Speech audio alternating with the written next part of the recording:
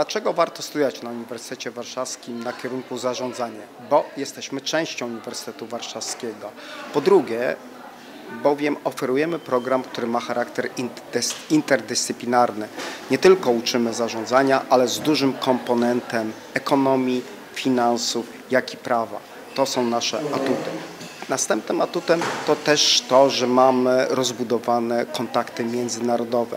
Nasi studenci mają szansę bywać w różnych krajach europejskich, jak i również in, na innych kontynentach. To są nasze atuty. Studia pierwszego stopnia to są studia, które dają taką generalną wiedzę o zarządzaniu.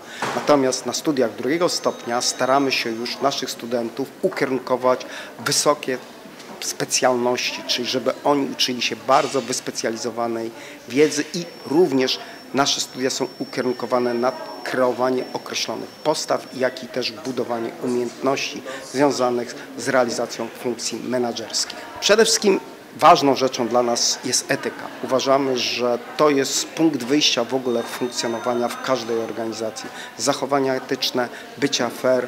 Staramy się wcielać w życie coś takiego, co się ładnie określa zarządzanie humanistyczne. E, Idealny kandydat, wymarzony kandydat na studia na kierunku zarządzanie na Uniwersytecie Warszawskim to? To człowiek otwarty na świat, znający języki, ale również człowiek, który jest w stanie być e, otwartym na to, że będziemy go uczyć różnych rzeczy. Że to nie będzie takie stricte zarządzanie, że to nie będzie stricte ekonomia, stricte finanse.